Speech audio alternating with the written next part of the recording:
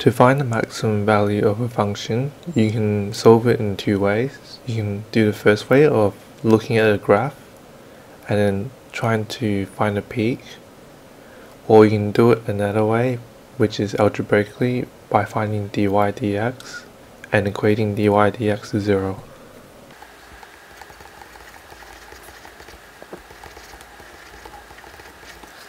This is because dy dx gives you the gradient function so the gradient function gives you the gradient at some point along the graph.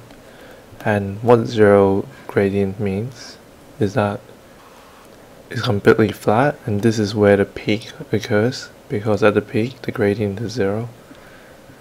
So if we find dy dx of this equation we get dy dx equals to negative 10x plus the derivative of 4x is 4. So now you want to equate this dy dx to 0. So we have negative 10x plus 4 equals to 0. So if you rearrange this, you get negative 10x equals to negative 4.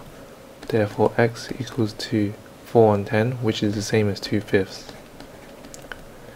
So what this tells us is that the maximum value occurs at 2 fifths.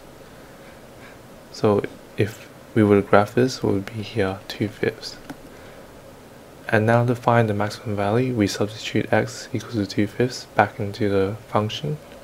So we have y equals to negative 5 times 2 fifths squared plus 4 times 2 fifths minus 1. So what is this? Minus 5 plus 4 times 2 is 8 on 5 minus 1. So actually if you solve this whole problem here, it would equal to negative 1 fifth.